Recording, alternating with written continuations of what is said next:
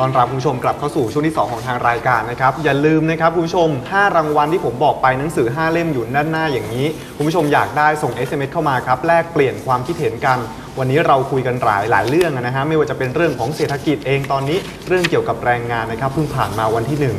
เราจะคุยกันต่อคุณโคสิตครับเรื่องของแรงงานฮะภายในประเทศ การว่างงานอัตราว่างงานตอนนี้มีปัญหามากมายไหมฮะคือตอนเนี้ยมันเป็นปัญหาอยู่แล้วครับนะครับ สิ่งที่ผมกลัวคือว่าผมเป็นพวกชุดที่ผ่านวิกฤตต้มยำกุ้งมาปีครับ40 ตอนนั้นตกงานกันรุนแรงมากนะครับ ตอนนี้ยังไม่ถึงแต่ว่ามันส่งสัญญาณว่าถ้าเราเราไม่รีบแก้ไขครับปัญหาการเมืองเราวันนี้เนี่ยมันจะกระทบเศรษฐกิจอย่างมากทีเดียว แล้วเราก็สูญเสียโอกาสมากครับนี่เท่ากับเราเนี่ยหายไป2ควอเตอร์แล้ว ถ้ากับเป็นช่วงเขาเรียกว่าไฮseason ครับนะมันหายไปแล้วอ่าใช่ไหมฮะครับช่วงที่เป็นช่วงที่ ซื้อจับจ่ายใช้สอยอย่างมาดีเที่ยวท่องเที่ยวก็ดีธุรกิจบริการก็ดีทำมาค้าขายเนี่ยจะขายดีกันอยู่คือช่วง quarter สุดท้ายของของปีที่แล้วครับก็คือ quarter แรกของงบประมาณ ตุลาถึงธันวาครับถูกไหมเป็นช่วงหายไปแล้ว high season นะเรามีครับเรื่องกรุ๊ปทัวร์เธอลูกยกเลิกหมดยกเลิกฮะลงโรงแรมกระทบครับหมด กระทบลูกโซ่ไปเลยแหละทุกอย่าง ต้นปีมาปีใหม่ตรุษจีนสงกรานต์นี่เราหมดไปแล้วครับจากนี้เราเข้าหน้าฝนอืมใช่ไหมฮะตอนนี้ก็เข้าสู่การฤดูทำนาครับ นะเราจะเริ่มเข้าพรรษาเดี๋ยวไปออกพรรษาครับใช่ไหมฮะเขาก็จะเริ่มเข้าไปเขาเรียกว่าเอ่อเป็นฤดูของการเตรียมตัวหลายอย่างนะฮะพอหน้าฝนมาเป็น low season เปิดเทอมอีกครับกำลังซื้อทุกอย่างเนี่ยมันกระทบหมดครับถูกไหมครับแต่ปีนี้รู้สึกเป็นปีแรกเหมือนกันใช่ที่การเปิดเทอมเราขยับค่ะขยับเข้ากับอาเซียนตมอาเซียนนะคฮะรับก็คือประมาณสิงหามั้งใช่นะคครัรับบนั่นก็พอดีเลยนะอืมเอ่อถ้าคนเกษตรกรทำนาครับเขาก็เรียกว่าหวานวันแม่อ่าเกี่ยววันพ่อครับก็คือหวานประมาณเดือนสิงหาอืมไปเกี่ยวกับธันวาอืมตอนนี้เลยโดนสองต่อเลยครับนะครับ เป็นช่วงที่เปิดเทอมที่ทุกโรงเรียนขยับเข้ามาเหมือนในอาเซียนครับคือประมาณเดือนสิงหานะครับเพราะฉะนั้นตรงนี้ก็เป็น low season เข้าไปต่อเนื่องเลยครับกว่าเราจะเสร็จเนี่ยนะฮะเข้าผมว่ากว่าจะมีรัฐบาลวันนี้อาจจะโอ้โหรัฐบาลต้องไปผ่านสภาอีกนโยบายไม่ผ่านสเห็นภาเลยฮะตอนนี้ผมว่าเรารู้สึกคงปลายปีอะ ครับทันเหรอฮะเนี่ยนะฮะเนี่ยทำอะไรไม่คุณจะเห็นว่าทันนะครับปีนี้มันก็ครับเสียหายไปละเพราะฉะนั้นเรื่องของปัญหาหนวดถ้าลองคิดว่าถ้าคุณนัทรศักดิ์เป็นผู้บริหารธุรกิจเอกชนจะทำไงครับสิ่งที่ทำคือต้องรักเข็มขัดแน่นอนใช่เพราะมันเจอปัญหาสถานการณ์เศรษฐกิจซึ่งคาดเดาไม่ถูกครับวันนี้ใครยังตอบไม่ถูกเลยมันจะจบยังไงเนี่ยไม่มีใครตอบได้ครับต่างชาติเนี่ยลงทุนก็ถามอยู่ตลอดเวลา ว่าเมื่อไหร่ประเทศคุณจะจบสักทีจบสักทีมันจะเป็นยังไงอนาคตยังไงใครก็ตอบไม่ได้ หมอดูก็ผิดมาหลายคนแล้ว นะเพราะฉะนั้นวันนี้เนี่ยจะให้เห็นได้ว่าสถานการณ์เศรษฐกิจเนี่ยมันจะเริ่มส่อสัญญาณ คล้ายๆ น้องๆนะไม่ถึงขนาดปีศูนย์แต่มันเริ่มน้องๆเพราะฉะนั้นคนที่ผ่านยุคนั้นมาอย่างพวกผมเนี่คยรับนะฮะสมัยก่อนเตรียมตัวไม่ทันอืมมันมาเหมือนซึนามิเลยครับแต่วันนี้ไม่รู้ตัวเนี่ยเราเห็นโอ้โหมรสุมสอเข้ามาแล้วอ่าเราทุกคนก็เตรียมตัวไอ้ภาวะการเตรียมตัวก่อนมันทำให้เกิดการหดตัวนะครับถูกไหมฮะครับในขณะต่างชาติเนี่ยอย่าลืมว่าวันนี้เนี่ย อาเซียนจะเปิดเนี่ยประชาคมอาเซียนเปิดเนี่ยเพราะฉะนั้นถ้าคนลงทุนต่างชาติในกลุ่มยุโรปและกลุ่มอื่นที่มานะฮะหรือว่าประเทศในเอเชียใหญ่อย่าคงรับญี่ปุ่นอย่างจีนหรือเกาหลีมองเข้ามา มันมีตัวเลือกเยอะนะมันไม่ใช่ประเทศไทยอย่างเดียวนะใช่อาเซียนมีตั้งสิบประเทศถูกไหมนะฮะเดี๋ยวนี้พม่าเขาก็ไปใช่เยอะแล้วนะเปิดขยายมาประเทศแล้วด้วยนะครับถูกไหมลาวกัมพูชา เวียดนามอื่นๆเนี่ยมันขยายเรามีครับคู่แข่ง นั่นคือปัญหาหนึ่งเพราะถ้าเราดูแบบนี้ปุ๊บเนี่ยสถานการณ์ถ้าผมคาดเลยว่า การว่างงานต้องมากขึ้นอืมนะฮะตอนนี้ถามว่าตรงเนี้ยเราจะปรับตัวยังไงครับนักธุรกิจหรือนายจ้างทุกคนก็ต้องปรับตัวถึงที่ก็ปรับตัวยังไงก็ต้องใช้คนอยู่ดี มันครัจะบใช้รถยนต์เอ่อเครื่องเครื่องอะไรจักรหุ่นยนต์ไม่มาแทนได้ทุกอย่างครับคนที่ใช้เขาต้องเริ่มมองหาแรงงานคุณภาพมากขึ้นคำว่าคุณภาพคุณภาพคือก็ต้องปรับคือแทนที่ใช้สามคนอืมเขาอาจจะแบบยอมเอาคนหนึงแพงหน่อยแต่ทำงานได้ดีกว่าอ๋อ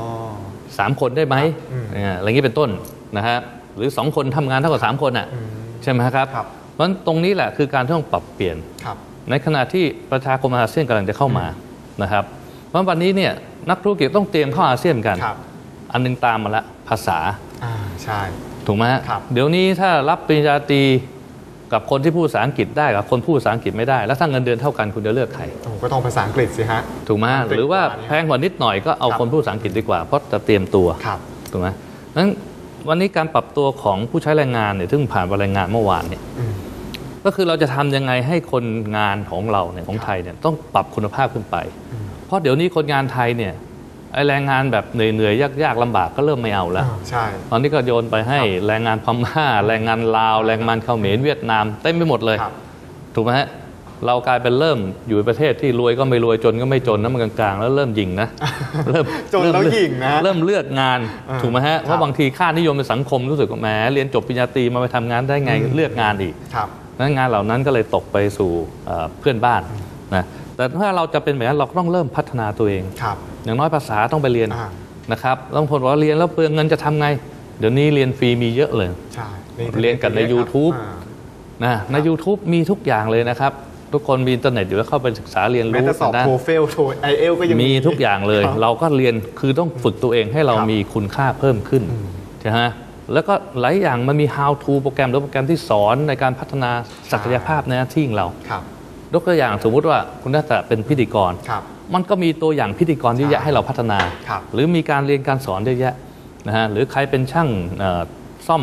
คอมพิวเตอร์เนี่ยครับ ก็มีนั้นเยอะแยะเลยใช่มีสารพัดช่างสารพัดที่อยู่ในหมด แม้กระทั่งสอนแต่งหน้าอ่ามีหมดเลยครับอถ้าคนเนี่ยเริ่มต้องพัฒนาทักษะและ skill หรือความสามารถตัวเองให้สูงขึ้น เพื่อเตรียมรับไว้ครับเพราะว่าเวลาถึงเวลาบริษัทเขาจะคัดคนน่ะเขาต้องเอาคนที่ไม่มีคุณภาพออกก่อนอืมเขาต้องเก็บคนที่มีคุณภาพดีเอาไว้ครับนะฮะแล้วพวกนั้นถึงจะพัฒนาต่อไปได้ในการแข่งขันเขาครับนี่ก็เป็นสิ่งหนึ่งที่ต้องต้องรีบทำครับเพราะผมเชื่อว่าตอนเนี้ยผู้ประกอบการส่วนใหญ่เริ่มมองและเริ่มเตรียมกันทั้งนั้น ใช่ไหมฮะเพื่อเตรียมรับกับเหตุการณ์ที่ยังคาดไม่ถึงนะครับ ทีนี้ถ้าเรามองมองแบบเนี้ยนะวันนี้เนี่ยเราดูภาครัฐมีปัญหาใช่ไหมฮะครับการลงทุนภาครัฐก็มีปัญหา โครงการใหญ่ๆก็หยุดหมด2ล้านล้านก็หยุดแล้วอะไรก็หยุดแล้วทุกอย่างเนี่ยแล้วก็ดูเหมือนการเมืองจากนี้ไปการทำงานใครมาเป็นรัฐบาลผมว่าก็เหนื่อยนะ ไม่ใช่ทำอะไรง่ายๆเลยนะอืมนะเพราะมันมีควันหลงกับความรู้สึกความขัดแย้งความไม่ไว้วางใจ พวกใครเอ่อพวกมันมีปัญหาอะไรครับต่างๆอยู่เนี่ยอันนี้มันทำให้การทำงานยาก ในขณะที่เราจะแข่งขันอย่างสูงในปีหน้าเผชิญกับการเปลี่ยนแปลงต้องปรับตัวให้พร้อมไอ้ประชาคมอาเซียนเนี่ยมันเป็นทั้งข้อดีและข้อเสียคนะรับมันน่าจะถ้าเราพร้อมไปกับเขาการรวมกันเพื่อเพื่อแข่งขันกับกลุ่มอื่น อันนี้ดี แต่พอรวมแล้วเราไม่พร้อมเนี่ยอืมเรากลายเป็นเสียโอกาสอืมเป็นติ่งเล็ก ๆ อย่างนี้ เรากลายเป็นเสียโอกาสครับถูกไหมฮะเพราะฉะนั้นเราก็ต้องรีบแก้ไขปรับความพร้อมเพ ราะฉะนั้นวันนี้จะรอภาคการเมืองมาอย่างเดียวไม่ได้ ผมว่าภาคเอกชนเนี่ยหรือภาคประชาชนต้องรีบปรับตัวครับคนทุกคนที่ดูทีวีอยู่วันนี้ ถ้าฟังผมพูดเนี่ย ผมเตือนด้วยความหวังดีเพราะผมผ่านมาแล้วครับต้องรีบปรับตัวเราให้มากที่สุดนะฮะอะไรที่มันสิ้นเปลืองไม่จำเป็นต้องใช้อย่าไปใช้ก็ตัดออกไป คือประหยัดแต่ไม่ใช่ขี้เหนียวนะครับนะครับ คืออะไรใช้ใช้ให้มีประสิทธิภาพใช้คุ้มค่า ต้องรีบทำตั้งแต่วันนี้สำรวจตัวเองหมดทั้งในบ้านในที่ทำงานอืม ทุกอย่างเพื่อให้เกิดประสิทธิภาพครับนะแล้วก็เพิ่มศักยภาพตัวเองขึ้นเรื่อยครับๆนะฮะเพราะฉะนั้นตรงนี้คือเขาเรียกว่าเตรียมพร้อมแล้วก็เตรียมการปรับตัวครับนะฮะนี่ถ้าเรามาดูอาเซียนเนี่ยวันนี้เราก็มีหลายหลายเอ่อที่คนมองว่าเป็นอาหารหรือโอกาส เรามีครับในประชาคมอาเซียน 10 ประเทศครับทราบใช่ไหมสิประเทศมีครับอะไรบ้างสิบประเทศนี้ก็หลายหลายหลายประเทศนะฮะอ่าที่อยู่เราใกล้ๆกันเราก็จะเป็นมีอ่ามีไทยนะครับมีไทยอย่างแรกเลยมีพม่าพม่าอ่เวียดนาม บรูไบรูไนครับเอ่อเอาข้างบนเราเรียงอินโดนีเซียข้างบนเลย เรามีพม่า เรามีลาว มีกัมพูชาใช่ไหมมีเวียดนาม ครับมีไทยอืมนะแล้วก็มีบรูไน อินโดนีเซียมีอินโดนีเซีย มีมาเลเซีย มีสิงคโปร์ ใช่ แล้วเราก็มีฟิลิปปินส์ ใช่ นะใน 10 ประเทศเนี่ยก็จะต้องร่วมมือกันใช่นะครับ ทีนี้ในกลุ่มตรงเนี้ยถ้าเรามองดีเนี่ยปัญหาเรื่องแรงงานที่เราพูดถึงมีแรงงานอยู่ 7 สาขา ครับ นะแรงงาน 7 สาขาที่ตกลงกัน ตอนนี้เรามีอาชีพหลักคืออะไรอาชีพวิศวกรครับใช่ไหมเรามีพยาบาลครับนะครับ เรามีเอ่ออาชีพสถาปนิกอืมอาชีพการสำรวจครับนักบัญชีอาชีพพนักบัญชีครับทันตแพทย์และอาชีพแพทย์นี่คือครับ7สาขา คือบางคนไม่รู้ก็กลัวไปหมดพอบอกอาเซียนกลัวไปหมดเลยว่าโอ้ยเราจะมีปัญหาเรื่องแรงงานไหมมันไม่เกี่ยวหรอกถ้าท่านเป็นช่างกล้องอยู่ก็ไม่มีใครมายุ่งกับท่านหรอกนะ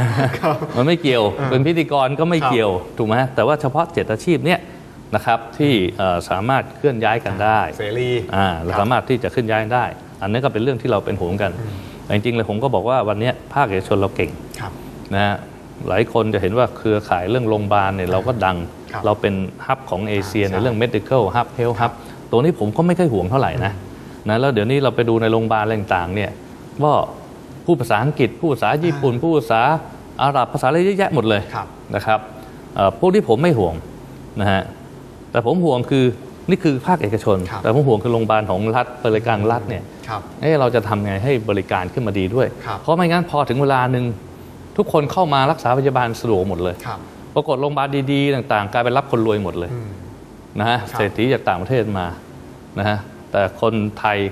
รายได้น้อยจะต้องไปอยู่กับบริการที่ไม่ดีครับอันนี้เป็นมุมอีกหนึ่งที่ผมเป็นห่วงนะคครัรับบว่า ภาครัฐก็คงต้องรีบมาปรับปรุงในส่วนตรงนี้ด้วยแล้วถ้ามองถึงจุดว่าเอ๊ะแล้วถ้าสมมุติว่าสมองจะไหลไปอยู่ต่างประเทศ อันนี้น่ากลัวไหมอันนี้ก็คงในเจ็ดอาชีพนี้เนี่ยฮะเท่าที่เห็นเนี่ยเอ่อ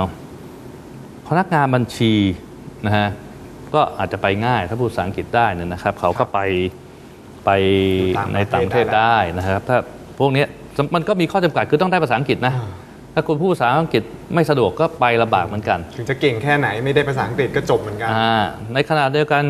จากประเทศอื่นก็เข้ามาแข่งขันกับเราได้ครับแต่ผมดูแล้วอาชีพพยาบาลกับหมอเนี่ยใครคงสู้เราไม่ได้หรอกอืมไอ้ที่เข้ามาแข่งแล้วไม่ครับกลัว กลัวอย่างเดียวคือเราไหลออกไปอืมใช่ไหมฮะใช่ครับเพราะโรงพยาบาลอื่นสมมติเขาจ้างได้แพงกว่าข้างหนึ่งก็สูงกว่าเราคอะรับถูกไหมอย่างเงินสิงคโปร์เขาก็ใหญ่กว่าเรานะ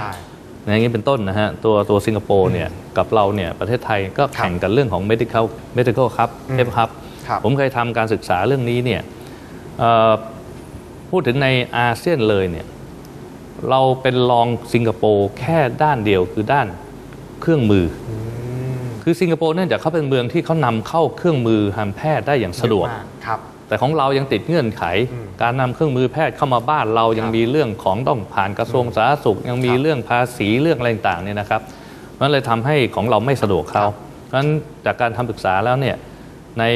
อาเซียนทั้งหมด เราแพ้เรื่องของคุณภาพเครื่องมือแพทย์ครับเทคโนโลยีเนี่ยเราแพ้แค่สิงคโปร์อืมแต่สิ่งที่สิงคโปร์แพ้เราก็คือคุณภาพหมอกับการให้บริการก็คือคนของเราครับอ่าแพ้เรื่องคนของเราครับเพราะฉะนั้นถ้าเขาดึงคนเราไปได้นี่ยุ่งเหมือนกันอืม นะครับครับผมก็เคยเสนออยู่ในแผนตอนนั้น ผมเป็นตัวแทนของกลุ่ม TEPCoT 6 TEPCoT คือหลักสูตรครับของหอการค้าเนี่ยนะฮะเป็นคนนำเสนอเรื่องอุตสาหกรรมบริการการแพทย์ ก็ได้ชี้เรื่องนี้ สมัยนั้นท่านรองนายกกิติรัตน์มานั่งฟังครับนะฮะว่าข้อที่เราต้องปรับปรุงคือไอ้เรื่องภาษีเกี่ยวกับเครื่องมือแพทย์อืมถ้าเรานำเข้าได้เราสามารถนำเข้ารุ่นใหม่ ๆ มาได้อืมพร้อมกับสิงคโปร์คุณภาพเราก็จะชีวิตเราก็ดีขึ้นปิดจุดอ่อนด้านนั้นครับไปถูกไหมฮะเท่ากับจุดเท่ากันอืมนะ ในงานของหมอพยาบาลเนี่ยถ้าเรามีเครื่องมือพร้อมเลยพร้อม ลูกค้าเรามาอยู่ที่นี่หมดเราก็เพิ่มเงินเดือนให้หมอพยาบาลได้แม้แต่ต่างประเทศก็จะมารักษาที่เรามารักษาด้วยนี่แล้วก็ครับเก็บค่าบริการที่สูงขึ้นได้ถูกไหมฮะอันนี้เราคงไม่ไหลออกไปนะครับนั้นผมก็ตัวผมเองส่วนใหญ่ไม่เคยห่วงอะไรในเรื่องเจ็ดสาอาชีพนี้นะก็ คือตอนนี้เนี่ยปัญหาคือบางคนอาจจะมองฮะว่าเอ๊ะพอ 10 ประเทศรวมกันเนี่ยแล้วเราเนี่ยเหมือนเป็นไข่แดงอืมแล้วก็ดูแล้วจะเป็นจุดอ่อนที่สุดด้วยนะฮะใน 10 ประเทศนี้ เพราะว่าไม่ว่าจะเป็นกำแพงทางด้านของภาษาเอ่ยอะไรเอ่ยเนี่ยหลาย ๆ อย่าง แล้วทีนี้เราจะพัฒนาคนแบบให้ให้มีความก้าวหน้าหรือว่าเท่าทันอีก 10 ประเทศที่เหลือยังไงอะฮะอันนี้ก็เป็นงานใหญ่ของกระทรวงศึกษานะครัฮะบที่พยายามจะต้องพัฒนาเรื่องคุณภาพการศึกษาอืม ซึ่งนี่ก็เป็นปัญหาใหญ่ครับแล้วกำลังเป็นเรื่องเห็นกำลังพัฒนายูเน็ตเดี๋ยวเราใช่ค่อยคุยต่อไปในช่วงหน้าเนี่ยนะฮะคือวันนี้เรื่องของภาษาเป็นปัญหาของเรานะฮะแต่เราก็ยังโชคดีว่าเนื่องจากในหลายปีที่ผ่านมาเราเนี่ยได้มีเอ่อโรงเรียนเรื่องของเอ่อนานาชาติเข้ามาในประเทศไทยเยอะอืมในขณะเดียวกันระดับมหาลัยเนี่ยครับก็มีหลักสูตรก็เรียกหลักสูตรอ่า international อ่าขึ้นเป็นสองเยอะภาษา bilingual นะครับไม่ว่าจะเป็นเอกชนครับหรือของรัฐอย่างจุฬาธรรมศาสตร์อะไรต่างๆเนี่ยก็มีหลักสูตรอินเตอร์ครับ นั้นตรงนี้เนี่ยเอ่อรุ่นอายุพวกผมอาจจะมีปัญหาบ้างอืมแต่ผมว่ามารุ่นนัชรตะลงมาเนี่ยเริ่มปัญหาน้อยแล้วล่ะนะครับผมคิดว่าแรงงานที่รุ่นใหม่ที่ออกมาจากการศึกษาเนี่ยภาษาคงเป็นครับปัญหาน้อย ในสังคมเมืองนะครับ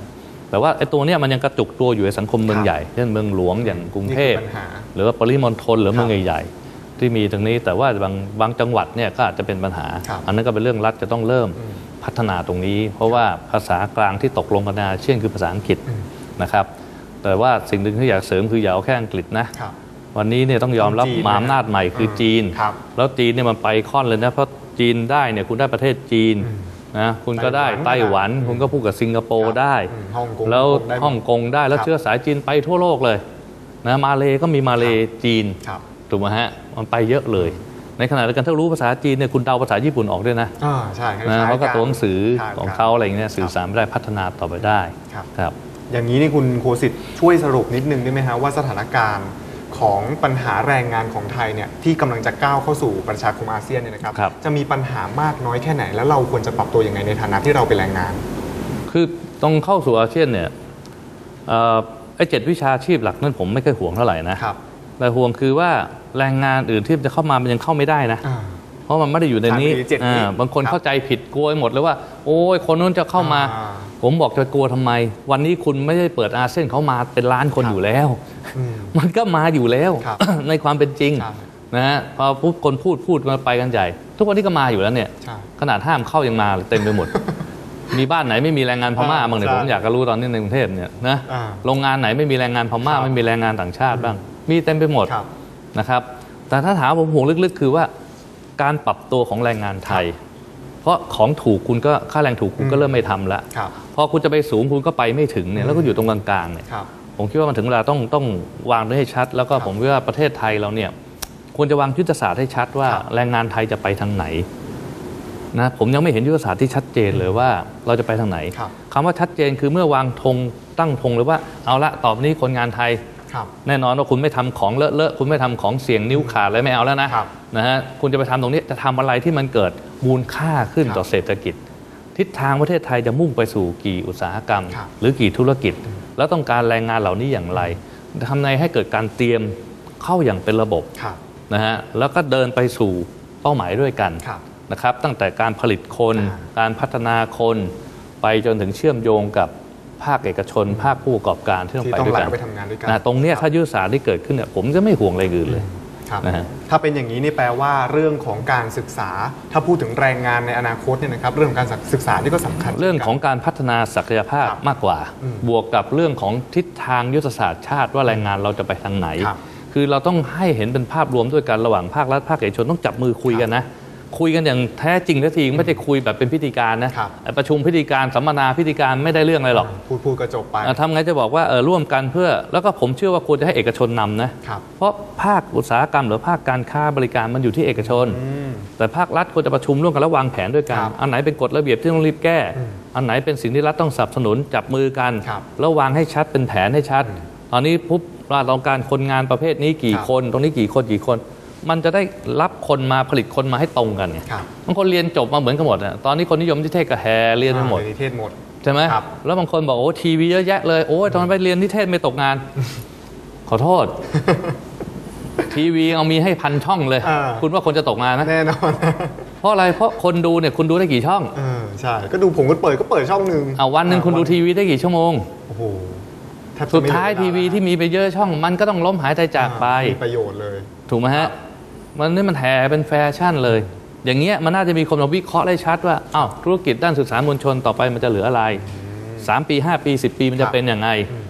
อ่าจะต้องใช้คนกี่คนด้านไหนครับเทคโนโลยีที่จะเปลี่ยนมาให้รู้ไหมอืมถูกไหมฮะครับคนจะได้เรียนถูกว่าเอาแต่ด้านคอนเทนต์เอาด้านเทคโนโลยีครับใครจะทำด้านไหนถูกไหมฮะครับเพราะฉะนั้นคนสมัครเรียนนิเทศจะได้รู้ว่าเรียนแล้วจะตกงานไหมต่อไปครับหรือเรียนแล้วจะดีอย่างไรอืมมันควรจะเป็นแผนให้เขาชัดครับ ตอนนี้เราปล่อยกันไปสเปะสปะหมดอันนี้เป็นเรื่องที่น่าเป็นห่วง ถ้าพูดถึงเรื่องการศึกษาเนี่ยนะครับคุณผู้ชมตอนนี้กำลังเป็นข่าวที่ค่อนข้างที่จะตรึงตาตรึงใจครับเพราะว่าครับตอนนี้มีการที่จะให้สอบยูเน็ตขึ้นมาอ๋อ UNET นะครับเราเคยพบกันนะครับไม่ว่าจะเป็น o n e t g a t p a t อ่านนะครับที่สทศเนี่ยจะเอามาสอบครับ นะครับแล้วรอบนี้เนี่ยมีการที่จะให้นักศึกษาปริญญาตรีฮะ นะครับเข้ามาสอบเกี่ยวกับยูเน็ตเดี๋ยวช่วงหน้าเนี่ยนะครับเราจะมาถามทัศนคติเรื่องนี้กับคุณโคสิตว่าคุณโคสิตเห็นด้วยไหมเพราะว่าตอนนี้มีหลายสถาบันนะครับที่ออกมาคัดค้านในเรื่องนี้แล้ว เดี๋ยวช่วงหน้าเรากลับมาครับ